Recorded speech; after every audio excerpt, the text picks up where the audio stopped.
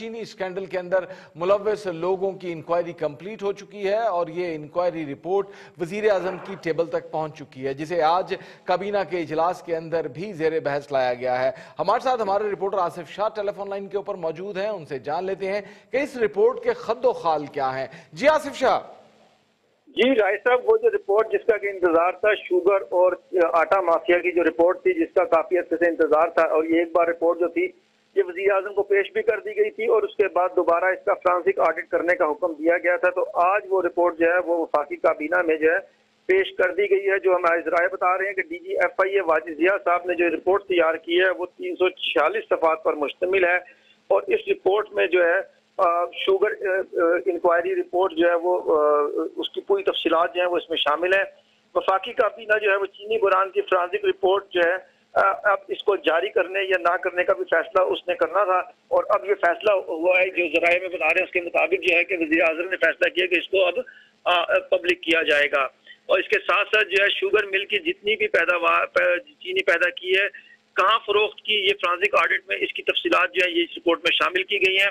Report में यह भी बताया गया है कि चीनी के बेनामी खरीदारों खरीदार जो थे, उनका भी ज़िक्र किया गया है। इसके साथ साथ ये भी बताया गया है कि ईसीसी के फैसलों से मुतालिक जो थे अमूर, वो भी इसमें शामिल किए गए हैं। रिपोर्ट में फाकी हुकूमत जो और पंजाब से चीनी बरामद करने की जो इजाज़त थी, उसका रिकॉर्ड भी शामिल किया गया है। और इसके साथ साथ जो है जो टैक्स चोरी की गई है, उसकी भी पूरी तफसीत जो है, वो इसमें शामिल की गई हैं। इस रिपोर्ट में जो है, वो शुगर मिल्स मालकान के जो बयान थे, वो भी शामिल है। तो ये तमाम चीज़ें शामिल करके वाजिद जिया साहब ने तीन सौ छियालीस सफात पर मुश्तमिल जो रिपोर्ट थी इसकी वफाकी काबीना को पहले उन्होंने ब्रीफिंग दी है और उसके बाद काबीना जो है उसने इस पर जो है आ, अपना फैसला जो है वजी अजम पर छोड़ा है कि वजी अजम ने इसको देखा है कि उन्होंने अब इसका पब्लिक करने का जो फैसला किया है अब वो जो है आवाम के सामने लाया जाएगा। जी। इस रिपोर्ट के अंदर आजिफ शाह जिम्मेदारों का तयन भी किया गया होगा। क्या कोई इतलात ऐसी सामने आई है कि कौन कौन जिम्मेदार हैं? और जहांगीर तरीन का नाम इस हवाले से बहुत ज़्यादा गूंज रहा था। जहांगीर तरीन का इस रिपोर्ट के अंदर स्टेटस क्या बयान किया गया है? जी, राय सर, देखिए, ये जो तीन सौ छियालीस सफात की रिपोर्ट है, ये मुकम्मल रिपोर्ट है। इसमें वो तमाम शुगर मिल मालकान जिन्होंने सब्सिडी ली, जिन्होंने चीनी जो थी, वो बैरून मुल्क जो थी वो बरामद की, उसका ज़िक्र किया गया है और वो तमाम चीज़ें जो शामिल की गई हैं, उसमें जो अहम बात है, जो जराए हमें बता रहे हैं, उसके मुताबिक ये है कि जो चीनी बरामद की गई बैरून ममालिक, वो सिरे से बरामद ही नहीं की गई थी। ये भी एक चीज़ जो है वो सामने आई है। और इसमें जो है कि कितना बड़ा मुल्क को नुकसान पहुँचाया गया, वो तमाम की तमाम चीज़ें जो है वो शामिल की गई हैं। और इसमें जो पिछला दौर था जो नवाज़ शरीफ साहब का दौर था और शायद खाकान अब्बासी साहब का जो दौर गुजरा है, मुस्लिम लीग नून का, उसमें जितनी भी सब्सिडी दी गई थी और जितना उसमें शुगर मिल मालकान को फ़ायदा पहुँचाया गया था वो तमाम के तमाम का ज़िक्र है और अहम बात यह है कि पिछले दौर में जो जिन लोगों ने भी इस मुल्क को लूटा है उसके अंदर एक्स वाई जेड जो कोई भी नाम आते हैं उन सब का एहतसाब होना चाहिए। लेकिन इस मरतबा जो मैंडेट दिया गया था उस मैंडेट के अंदर सबका अदवार भी शामिल था या हालिया अदवार के मामला ही शामिल थे कि जिन लोगों ने इस दौर के अंदर चीनी के हवाले से लूटा है सब्सिडी ली है अरबों रुपए इस मुल्क को कौम के खा गए हैं उनका एहतसाब फौरी करना चाहिए या फिर इसे ब्रॉडर कैनवस के ऊपर देखा गया है?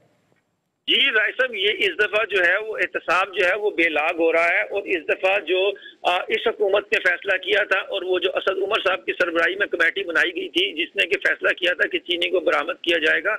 वो तमाम जो जो रिपोर्ट है, उसमें उन तमाम का ज़िक्र है। और असद उमर साहब को जो था, वो भी बुलाया गया था इसमें एफ़ आई ए ने बुलाया था और उन्होंने भी आके अपना बयान दिया था। अब्दुल दाऊद साहब जो थे, वो भी गए थे। वज़ीर अला पंजाब का भी बयान रिकॉर्ड हुआ है, जबकि वज़ीर अला सिंध का बयान जो है, वो भी रिकॉर्ड हुआ है। तो तमाम लोगों के जो रिकॉर्ड, बयान जो रिकॉर्ड किए गए इसके साथ शुगर मिल, मालकान के बयान जो है, रिकॉर्ड किए गए तो ये एहतसाब जो है ये पिछले दौरे हुकूमत के साथ साथ इस दौरे हुकूमत के लोगों का भी है जो अठारह माह गुजरे हैं अच्छा आसिफ शाह वज़ीर अला सिंध की तरफ़ से एतराज़ उठाया गया था कि वो इस कमेटी के अंदर पेश नहीं होंगे। तो क्या वो पेश हुए या उन वकील की जानब से उन्होंने अपना कोई जवाब दाखिल किया है? देखिए राय साहब उन्होंने जो वजी अला सिंह थे उनका कहना था कि ये फैसला जो है वफाक करता है और वफाक ही ने ये तमाम फैसले जो है वो किए हैं। लेकिन चूँकि फ्रांसिक ऑडिट हुआ है और उस हवाले से जितनी भी शुगर मिल्स थी उनका बयान जो है रिकॉर्ड हुआ है।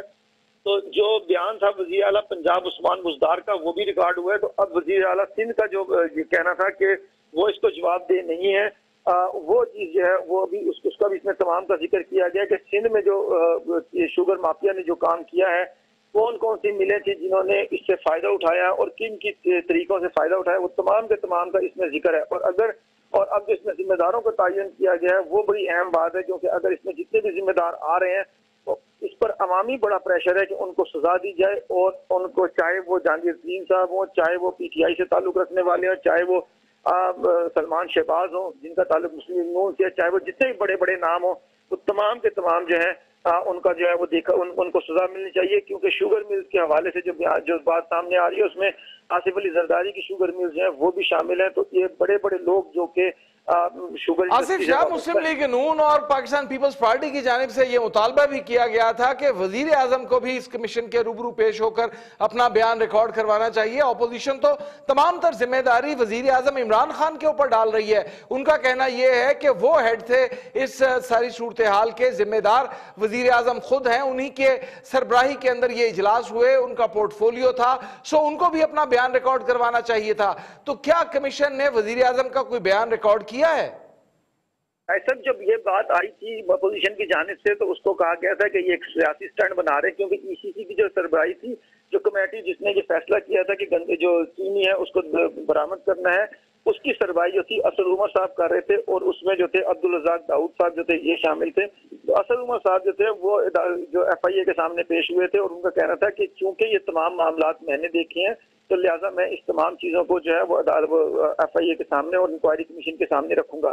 वजी अजम क्योंकि इस हवाले से उनका कहना था कि वजी अजम ने इस हवाले से कोई जो जो है वो मुल्क के वजी अजम है और मुल्क के सरबरा है इसलिए तमाम ज़िम्मेदारी से उन्हीं पर आई नहीं होती क्योंकि इस तो के सरबरा भी तो वज़ीर आज़म ही होते हैं।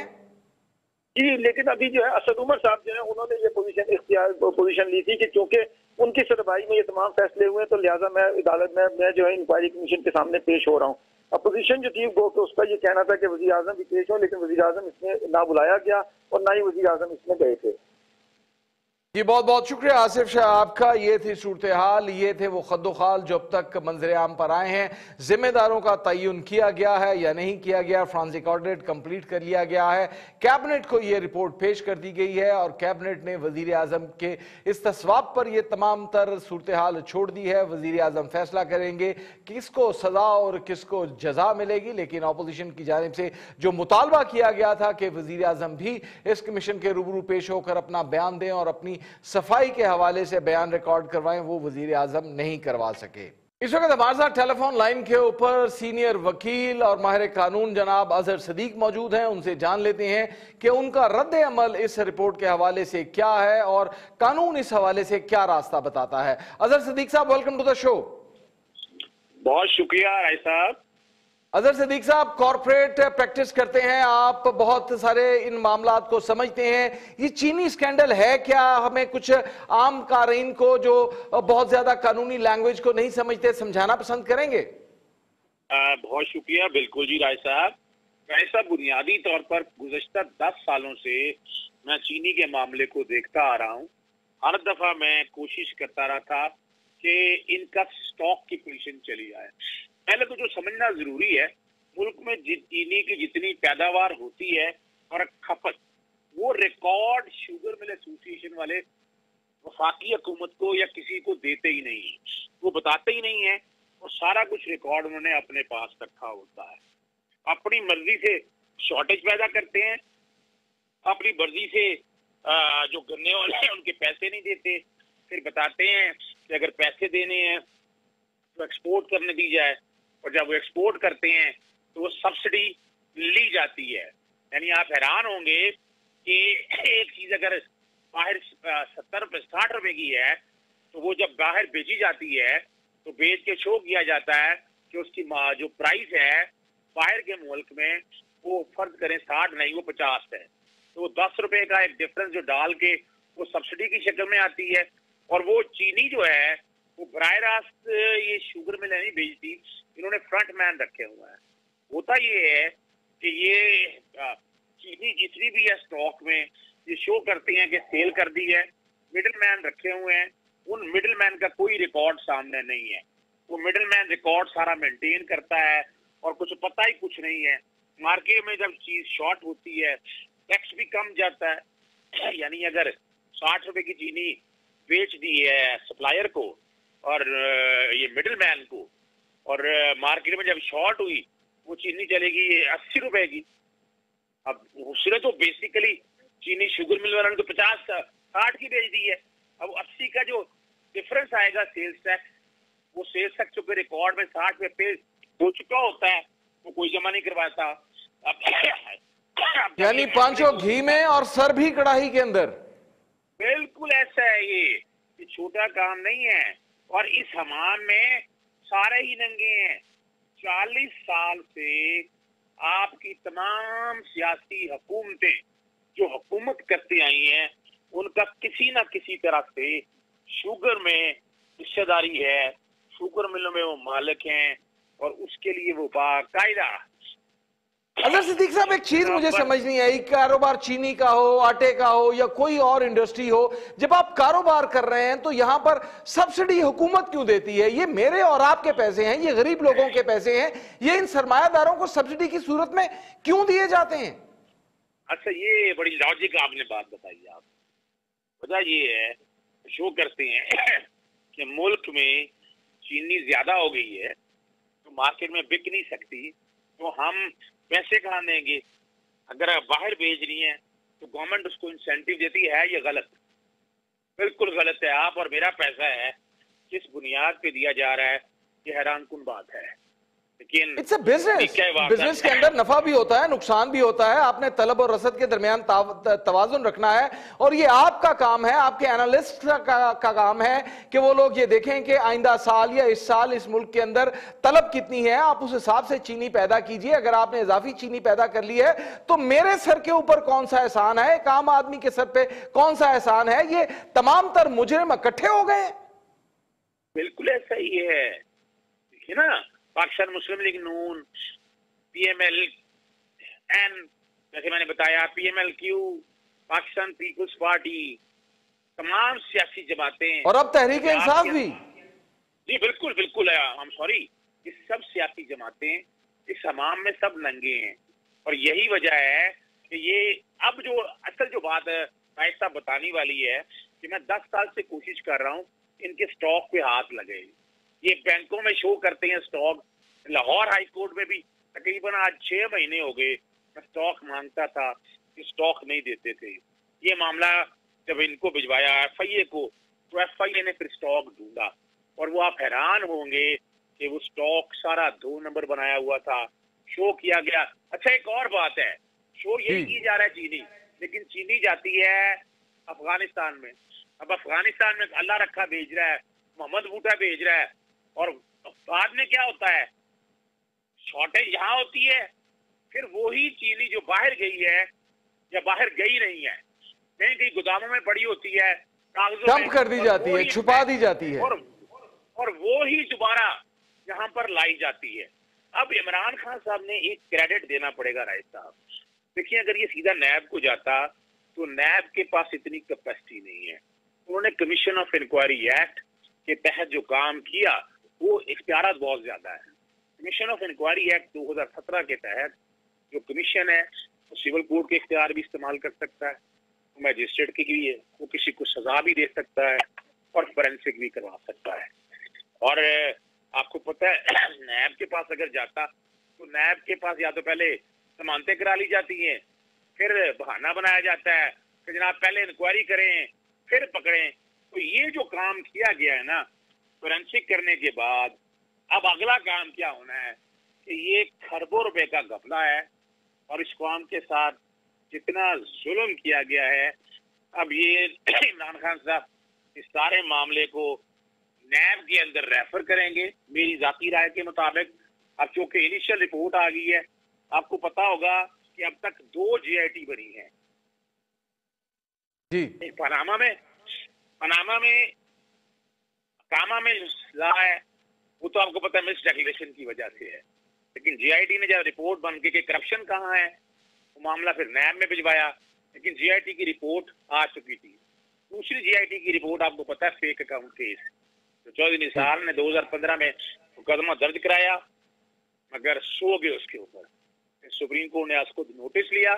जब वो नोटिस लेने के बाद सोलह के करीब आपने तोशा खाना वगैरह का भी सुना है, छह रेफरेंस अभी तक कोर्ट में फ़ाइल हो चुके हैं। तो यहाँ भी ये जेआईटी के बनने से ये एडवांटेज है कि 90 परसेंट काम जो है वो हो जाएगा। आगे नैब ने सिर्फ़ बंदे आइडेंटिफाई करने हैं, उनको उठाना है, पकड़ना है, उनकी लाइबिलिटी फिक्स करनी है। इसमें ना सिर्फ़ सेल टैक्स की चोरी है इनकम टैक्स की चोरी है, बैंकों के साथ फ्रॉड है सब्सिडी के अंदर जो जुल्म हुआ है और फिर लोकल मार्केट में किस तरह से आपको याद होगा राय साहब कि तकरीबन पीपल्स पार्टी के दौर में चीनी की कीमत एक सौ चालीस रुपए होगी थी। जी बिल्कुल बिल्कुल। सिर्फ़ चालीस रुपया थी।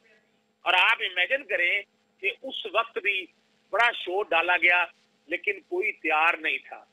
क्योंकि समाज में सारे नंगे हैं। तो अब पहली दफ़ा ये काम आगे गया है। उम्मीद बड़ी की जा सकती है अजहर सिद्दीक साहब अजहर सिद्दीक साहब, थोड़ा सा लीगैलिटीज के ऊपर भी बात कर लें। अब ये केस है, आपके बकौल मुमकिन तौर पर नैब को रेफर होगा। नैब इसमें इंक्वायरी करेगा या जो एफ़ आई ए ने इंक्वायरी कर ली है, जो वाजिद जिया की इंक्वायरी है, वो गुड इनफ होगी उनके लिए? देखिए, वो उनके लिए इनडायरेक्ट एविडेंस के तौर पर है क्योंकि शहादत के तौर पर इस्तेमाल नहीं हो सकती। आपको याद होगा, पनामा की जब जीआईटी के हवाले से वाजिद जिया साहब बाकायदा शहादत के तौर पर पेश हुए थे। नैब के सामने, नैब की कोर्ट के सामने। इसी तरह जो जीआईटी के हवाले से हैं, जो जीआईटी वो कराची की बनी हुई है, उसमें भी ये चीज़ें सामने आएँगी। यानी ये आपके पास बेस है और सेक्शन 18 नैब का बड़ा क्लियर है कि नैब ने इख्तियार का भी इस्तेमाल करने हैं। जब वो कोई गवर्नमेंट कहती है, वो अपने खुद लेती है, ठीक है जी? तो चूँकि ये गवर्नमेंट भेज देगी तो इसको इंक्वायरी ट्रीट किया जाएगा। और हो सकता है इसको इंक्वायरी की बजाय, हो सकता है इसको इंक्वायरी की बजाय वो बर रास्त कन्वर्ट कर दे इन्वेस्टिगेशन के अंदर। और हो सकता है इसके लिए बाकायदा कंबाइंड इन्वेस्टिगेशन टीमें बने। और वो बाकायदा जो कि नैब के कानून के मुताबिक इन्होंने शातें इकट्ठी करनी है तो शातें अपनी इकट्ठी करेंगे फोरेंसिक का इस्तेमाल करेंगे। और ये कोई इतना लंबा लेंथी नहीं प्रोसीडिंग होगी। मेरे ख्याल से दो तीन महीने के अंदर अंदर इसके रेफरेंस फ़ाइल करने वाले होंगे और इनमें कोई बस्ता मुझे नज़र नहीं आता है। और अच्छा अदर सिद्दीक साहब आखिरी सवाल आपसे जो मैं जानना चाहूँगा वो ये है कि प्ली बार्गेन इस केस के अंदर आप कहाँ तक देख रहे हैं जिसे हम आम ज़ुबान के अंदर जिसे हमारी स्लैंग में मुकमुका कहते हैं। प्ली बार्गेन की क्या गुंजाइश है? अच्छा देखिए वजह ये है क्योंकि फ्रॉड की नोयत बहुत बड़ी है। ये खरबों रुपए का यानी मैं अरबों की नहीं कह रहा, ये खरबों रुपए का स्कैम है। और कौन लोग इसमें प्री बार्गेन के लिए आएगा? आपने कहा सही है, इसमें अल्टीमेटली बहुत से लोग जो हैं वो प्री की तरफ़ जाएँगे। जैसे आपने आईपीबी के हवाले से सुना है कि वहाँ पर एक मौका दिया जा रहा है बिजली की कंपनियों को कि वो बैठ कर सेटल कर लें। तो चार, साढ़े चार हज़ार अरब का चूना लगा है। तो यहाँ पॉसिबिलिटीज आते हैं कि बाकायदा और प्ली बांधने का कानून है। तो पहले अमाउंट डिटर्मिन होती है, उसमें से तैतीस फ़ीसद पहले जमा कराना होता है। फिर छह महीने के अंदर दो किस्तें बाकी जमा करानी होती हैं। और मुझे तो नज़र ये आ रहा है कि ये अगर प्री बार्गेन की तरफ़ भी गए तो पाकिस्तान को बहुत बड़ी रकम मिलने वाली है। पाकिस्तान को बहुत बड़ी रकम मिलने वाली है प्ली बारगेन के ज़रिए लेकिन प्ली बारगेन के ज़रिए कभी भी अजहर साहब मुकम्मल रकम नहीं मिलती। एक आप डील करते हैं कि आपने सौ रुपए खाए हैं तो चलिए आप बीस रुपए पच्चीस रुपए पचास रुपए दे दें। और बाकी पचास रुपए अजहर साहब कहाँ जाएँगे? वो पचास रुपए तो आपके बच्चों के मेरे बच्चों के पैसे हैं जो हमने अपने खून पसीने की कमाई से मेहनत करके इस कौम के खजाने के अंदर टैक्स दिया है। आपने बड़ी ज़बरदस्त बात की है, लेकिन मैं नहीं समझता कि अगर फ़र्ज़ करें सौ रुपया है, सौ रुपए की लाइबिलिटी निकली है और आप कहें कि चालीस रुपए आई डोंट थिंक सो क्योंकि कई चीज़ें ऐसी हैं वॉल्ट्री रिटर्न के हवाले से सुप्रीम कोर्ट के सामने मैटर बहुत पेंडिंग पड़े हैं। जो एडमिटेड लाइबिलिटी है, वो देनी पड़ेगी, नहीं तो फिर इन्हें रेफरेंसेस फेस करने पड़ेंगे। और मेरा नहीं ख्याल है कि कौड़ियों के भाव कोई ये कोई प्री बार्गेन का ऑप्शन अपनाया जाएगा। इसमें जो आवाम के साथ जाति की है आपके सामने है कहा आप, आपकी शुगर मिलों ने आपकी एग्रीकल्चर तबाह करके रख दी है कपास खत्म कर दी है। राय साहब आने वाले दौर में आपका आम खत्म हो रहा है। इन शुगर मिलों ने उस एरिए के अंदर बैठकर क्योंकि पानी बहुत ज़्यादा लेता है तो बैठ के इन्होंने आपकी एग्रीकल्चर एक सिर्फ़ इतना जुल्म नहीं है, इससे अगला भी जुल्म है। और हमें उन सबको जाना है। और मुझे बड़ी उम्मीद है कि इसमें कोई झल्लू नहीं फिरेगा। और जो कुछ भी है, कौम के सामने होगा। फ़र्ज़ करें, झल्लू फिरने की कोशिश अगर होगी, क्योंकि मैं दस साल से देख रहा हूँ। हम आगे आएँगे, कौम के साथ खड़े होंगे। और ऐसे लोगों को मंतवी अंजाम तक पहुंचाएँगे। बहुत बहुत शुक्रिया अजहर सिद्दीक साहब आपका। यहाँ वक्त हुआ एक ब्रेक का। ब्रेक के बाद जब वापस आएँगे तो मजीद लीगल ओपिनियन के साथ साथ पॉलिटिकल वर्जन भी इस हवाले से लेंगे। हमारे साथ रहिए। वेलकम बैक नाजरीन। बात हो रही थी चीनी स्कैंडल की। इस वक्त हमारे साथ पाकिस्तान मुस्लिम लीग नून के मरकजी रहनमा जनाब doctor Asif Kurmani telephone line के ऊपर मौजूद हैं। उनका रद्द अमल इस हवाले से जान लेते हैं।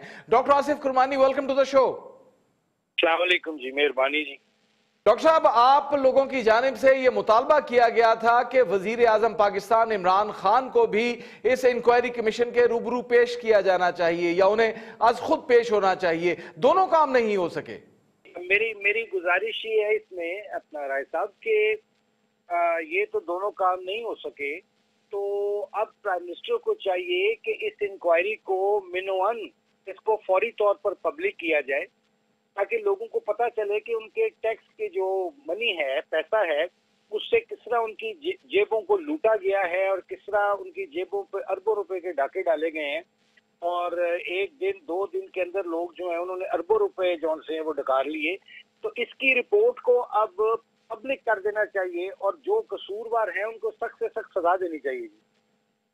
और डॉक्टर साहब, इसके अंदर प्ली बारगेन के इम्कान भी मौजूद हैं, क्योंकि एफआईए ने इंक्वायरी मुकम्मल कर ली है और मुमकिन तौर के ऊपर ये केस अब नैब को रेफर किया जाएगा। और नैब के कानून के तहत प्ली बारगेन जिसे हम स्लैंग के अंदर मुक मुका कहते हैं, उसके इम्कान भी मौजूद हैं। आप किसी किस्म के मुक मुका की या प्ली बारगेन की सपोर्ट करेंगे? नहीं जी, हम तो मैं तो इस ख्याल का हूँ कि जो जिसका जुर्म है, जो जिसने इसमें माल बनाया है और जिन्होंने गैर कानूनी हरकत की हैं, जिन्होंने जो मुलवस हैं इनमें, उनको तो सख्त से सख्त सजाएँ दी जानी चाहिए और इसमें ज़्यादा देर नहीं करनी चाहिए। और ये मुख मुका की पॉलिसी नहीं आज तक पाकिस्तान का अभी तक इस हाल तक कुछ आया अब ये सिलसिला खत्म होना चाहिए और और जिसका कसूर है, उसको सजा भी मिलनी चाहिए जी, कड़ी से कड़ी। डॉक्टर साहब, हमारे जरा ये बताते हैं कि रिपोर्ट के अंदर मुस्लिम लीग नून और पीपल्स पार्टी के रहनुमाओं का भी नाम आ रहा है कि माजी के अंदर उन लोगों ने भी इसी किस्म की सब्सिडीज दी भी हैं और ली भी हैं। देखिए जी, मैं इसमें बड़ा, मेरी, मैं क्लियर हूँ इस मामले में कि गलत काम किसी ने भी किया हो, जिससे पाकिस्तान को नुकसान पहुँचा हो, पाकिस्तान के अवाम को उससे नुकसान पहुँचा हो, उसके खिलाफ एक्शन होना चाहिए। बहुत बहुत शुक्रिया, डॉक्टर आसिफ कुरमानी आपका। आपने हमें वक्त दिया और आपने अपने नुकता नज़र से भी हमें आगाह किया। आपने बताया कि नुकसान इस मुल्क के ख़जाने का, नुकसान इस पाकिस्तान के गरीब आदमी का, किसी ने भी किया हो, उसका ताल्लुक किसी भी सियासी जमात के साथ हो, किसी भी दौर के साथ हो, उसका कड़े से कड़ा एहतसाब होना चाहिए और वो लूटी हुई रकम वापस पाकिस्तान की किटी के अंदर, पाकिस्तान के खजाने के अंदर आनी चाहिए। हमें ज्वाइन किया है इस्लामाबाद हाईकोर्ट के सबक जज जनाब रमज़ान चौधरी ने। आ, उनसे जान लेते हैं कि इस रिपोर्ट के हवाले से उनका नुकता नज़र क्या है। रमज़ान चौधरी साहब welcome to the show Rai साहब बहुत शुक्रिया। रमज़ान चौधरी साहब एफ़ आई ए के वाजिद जिया ने इंक्वायरी मुकम्मल कर ली है। अब आगे कानून क्या कहता है क्या प्रोसेस होगा? राय साहब ये अब जो फॉरेंसिक और डिटेल्ड इंक्वायरी की रिपोर्ट है जिस तरह का हमें इसका बहुत इंतज़ार था और ये फिर कुछ बवजू कुछ वजूहत की वजह से ये लेट आई। वो कहते हैं देर है दुरुस्त आयद अब चूँकि ये आ चुकी है। तो अब इसके लीगल कॉन्सिक्वेंसेस बहुत से हैं। अब एक तो इसमें जो जो लोग जिनका नाम आ गया है जिन जो इसके जिम्मेदार ठहराए गए हैं इनके खिलाफ दो तीन तरह की कार्रवाई होगी अब। एक तो मेरा ख्याल है कि ये केस नैब में जाएगा क्योंकि ये कौमी खजाने का भी नुकसान है ये चीटिंग पब्लिक एट लार्ज का भी केस बनेगा और इसमें बहुत से टैक्सेस की भी बात है टैक्स अवेजन की भी बात है और बहुत से डिपार्टमेंट के जो टैक्सेस हैं वो भी इसमें चोरी किए गए हैं। तो ये अब मल्टीपल कार्रवाइयाँ शुरू होने वाली हैं ये फौजदारी कार्रवाई तो इसका नेचुरल कॉन्सिक्वेंस है ही है।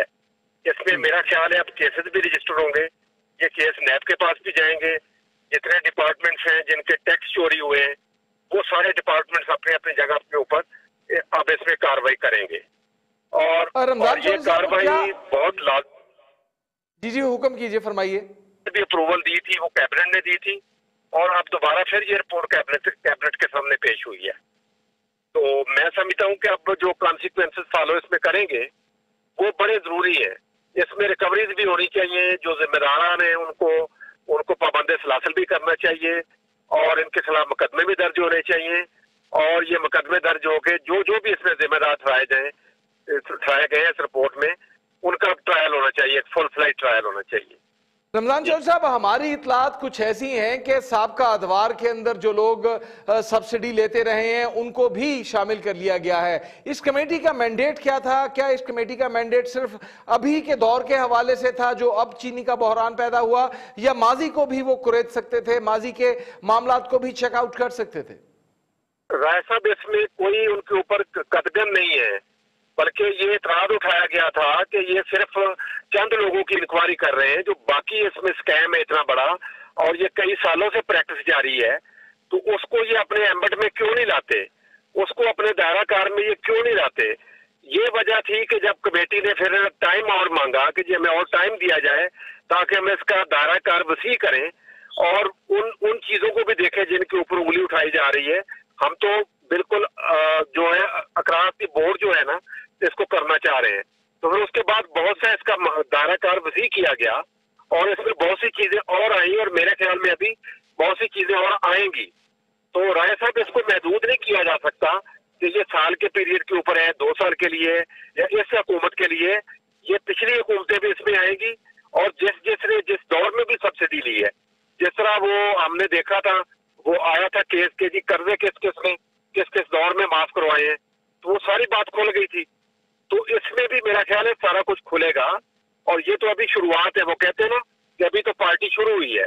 अभी तो काम तो रमज़ान चौधरी साहब अपोजिशन जो कि एक बड़ी स्टेक होल्डर है और उन लोगों के नाम भी इस स्कैंडल के अंदर आ रहे हैं उनका मुतालबा यह था कि इमरान खान को भी इस कमेटी के रूबरू पेश होना चाहिए उनको आज खुद या फिर कमेटी उन्हें तलब करे बयान रिकॉर्ड करवाना चाहिए क्योंकि ईसीसी के सरबराह तो वो खुद हैं। देखे जी ये तो बातें सियासत सियासत की हैं। ये कमेटी अगर बेहतर समिति उनको बुलाती तो वो ज़रूर चले जाते। ये तो कमेटी का डोमेन है जो जो कमेटी इसको इंक्वायर कर रही है जो इसमें जीआईटी फार्म हुई हुई है ये तो उसका इख्तियार है। अब मैं कह दूँ कि जी इसको इस तरह हो आप कह दें इस तरह हो वो तीसरा आएगा वो कह दे इस तरह हो तो लोगों की इसमें ख्वाहिशात पूरी नहीं की जा सकती। कानून कानून क्या कहता है? क्या कानून के तहत अल्टीमेटली उसके सामने जाने साहब इसी से इस बात की इजाज़त देती है कि चीनी एक्सपोर्ट करनी है नहीं करनी सब्सिडी कितनी मिलेगी? और उसके सरबराह वज़ीर आज़म थे। जी। तो कानून इस हवाले से क्या कहता है? मैं समझता हूँ कि nobody is above the law अगर ये वज़ीर आज़म के ऊपर को बात आएगी तो मेरा ख्याल वज़ीर आज़म भी ऐसे बालातर नहीं है। और अब तो हमने हमारी अदालतों ने साबित कर दिया कि आप आप देख देख रहे हैं कि पिछले तीन वजर आज़म जो हैं वो अब अदालतों में प्रोसिक्यूशन को फेस कर रहे हैं। एक वज़ीर आज़म को सजा हो गई है वो सजा काट रहे हैं और अगजाइल पे बैठे हुए हैं। दूसरे दो वज़ीर आज़म जो है यूसुफ रजा गिलानी साहब और राजा प्रवेश साहब नैब के सामने पेशियाँ भुगत रहे हैं। तो अब अगर चौथा वज़ीर आज़म भी आ जाएगा तो ये कोई बड़ी बात नहीं है। तो जो, जो भी आ जाए जिस जिसके नाम भी आएगा मेरा ख्याल है वो बच नहीं सकता। कानून के साहब वज़ीर अला पंजाब उस्मान बुजार ने तमाम तर ज़िम्मेदारी वफाक के ऊपर डाल दी है। क्या आप समझते हैं कि सूबों का कोई अमल दखल नहीं होता? और जो मौकफ उस्मान बुजार का है कि उनका इस हवाले से कोई लेना देना नहीं दुरुस्त है? नहीं राय साहब ये उनकी बात दुरुस्त नहीं है। देखें जहाँ तक मेरी मालूम है ये मामला जो फेडरल कैबिनेट थी उसने उसने ये ये रेफर कर दिया था पंजाब की तरफ़। और ये सब्सिडी जो लेटेस्ट अभी की सब्सिडी है ये तो शायद पंजाब गवर्नमेंट ने दी है जहाँ तक मेरी मालूम है। तो अब इनका क्या देना कभी मरकज ने दी है मेरा ख्याल है। ये इनकी आपस की एक दूसरे के ऊपर मर्द थ्रोइंग की बात है। तो जो हकायक है वो सामने आ जाएँगे ये कागज़ अपने मुँह से बोलेंगे। उस कैबिनेट के जो मिनट्स हैं वो सामने आ जाएँगे। ये जो सूबे की कैबिनेट है इसके मिनट सामने आ जाएँगे तो बात खुल जाएगी सारी। तो ये तो रमज़ान रिस्पॉन्सिबिलिटी शिफ्ट करने वाली बात है। रमज़ान शोर साहब, आखिरी सवाल आपसे करना ये चाहूँगा कि अगर जुर्म साबित हो जाता है, नैब के पास जाता है या किसी और इन्वेस्टिगेशन अथॉरिटीज के पास जाता है और जुर्म साबित हो जाता है, सजा क्या होगी और क्या पाकिस्तान की किटी के अंदर, पाकिस्तान के खजाने के अंदर कोई चार पैसे आ जाएँगे? राय साहब ये हमारी एक विशफुल थिंकिंग है कि हम पहले भी यही तो कर रहे थे कि जिन लोगों के ऊपर नैब के केसेस हैं उनको सजाएँ हो जाएँगी और उनके पेट से पैसे निकाल लिए जाएँगे और वो निकाल के अवाम का पैसा है खजाने में आ जाएगा और आवाम के ऊपर खर्च हो जाएगा। ये हमारी एक नेक ख्वाहिश तो ज़रूर है विशफुल थिंकिंग तो, तो ज़रूर है। और ये हमें रखनी चाहिए और हमें रखनी भी है। तो इंशाल्लाह हमें उम्मीद करनी चाहिए कि जब इन मुकदमात का ट्रायल होगा तो ज़रूर इनको सजाएँ भी होंगी और रिकवरीज भी होंगी और वो पैसा सरकारी खजाने में वापस आएगा और जो अवाम का पैसा है वो अवाम के ऊपर खर्च होना चाहिए। रमज़ान थिंकिंग कानून की मंशा भी है कानून की मंशा भी है और ये हमारी विशुअल थिंकिंग भी है ये हमें कायम रखनी है। रमज़ान जो साहब इसी सवाल को मैं चाहूँगा कि आप मजीद एलेबोरेट कर दें विशफुल थिंकिंग और कानून का रास्ता कहीं जाकर एक होता है। राय साहब, हमने देखा कि जो पिछले मुकदमात में सजाएँ हुई हैं बड़े बड़े जुर्माने हुए, लेकिन केस अपीलों में चले गए, अब अपीलें पेंडिंग पड़ी हैं तो वो नतीजा नहीं निकल सका जो आवाम चाह रहे थे कि फौरी निकल आएगा। लेकिन इनशाला देर आए, दुरुस्त आए अल्टीमेटली इंसाफ होगा और अल्टीमेटली ये रिकवरीज भी होंगी और जिस जिसने ये जुर्म किया है, जिन जिन के नाम आए जिनके खिलाफ सबूत इकट्ठे हो गए इनशाला they will be taken to task और ये ज़रूर अपने अप, अपने अंजाम को पहुँचेंगे। बहुत शुक्रिया रमज़ान चौधरी आपका। आपने कहा कि इंसाफ होगा हम दुआ करते हैं तवक्को रखते हैं कि जजमेंट डे रोज मैशर से कबल ये एहतसाब हो और ये अदल पाकिस्तान की अदालतों के ज़रिए हो और हम ये यकीन रखते हैं कि ये पैसा यकीन पाकिस्तान की किटी पाकिस्तान के ख़जाने के अंदर वापस आएगा। वो पैसा जो पाकिस्तान के गरीब आवाम दिन रात की मेहनत के बाद इस ख़जाने के अंदर जमा करवाते हैं।